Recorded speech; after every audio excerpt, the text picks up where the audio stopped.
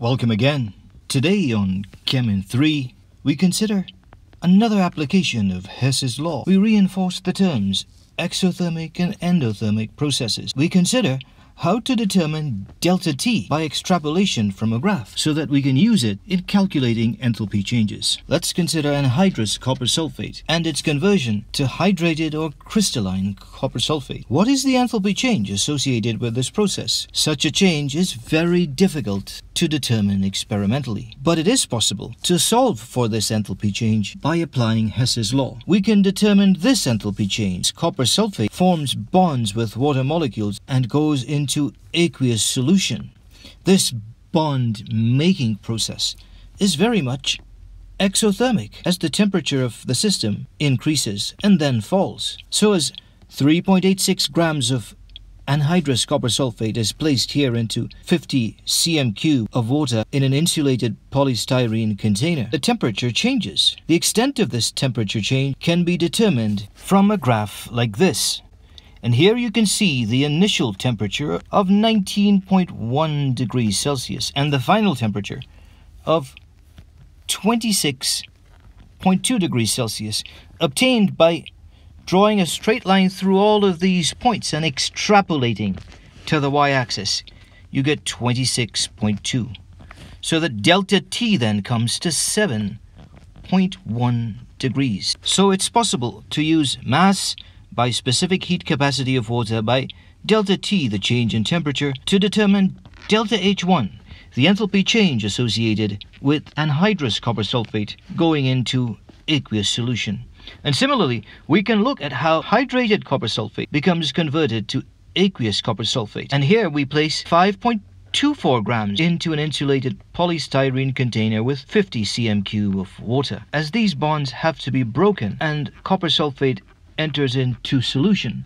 Bond breaking takes up more energy than you have released in bond making.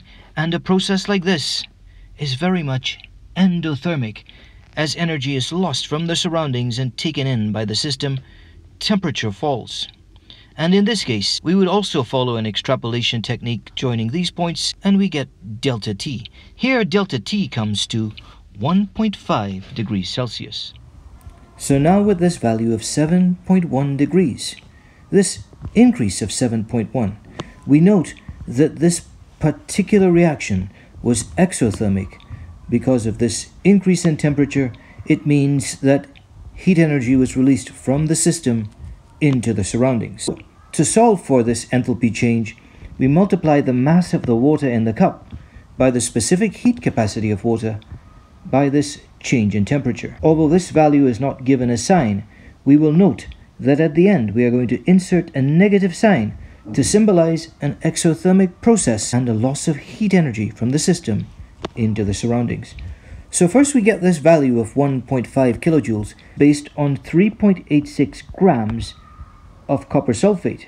So converting 3.86 grams into the standard of 1 mole we divide the molar mass of anhydrous copper sulfate by 3.86, we multiply that by 1.5 and we get 62 kilojoules per mole.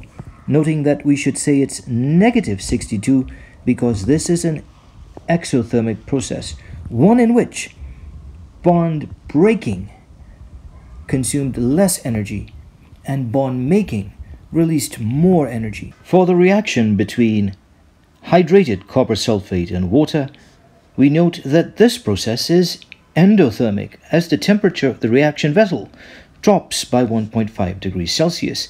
And here, heat energy is taken from the outside into the system as bond breaking consumes more energy than is released in bond making.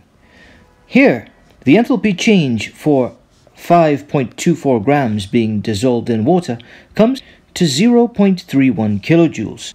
And when we solve for the value per mole, we divide 249.7, the molar mass of hydrated copper sulfate, by 5.24, and we multiply by 0.31. This comes to an answer of 14.8 kilojoules per mole.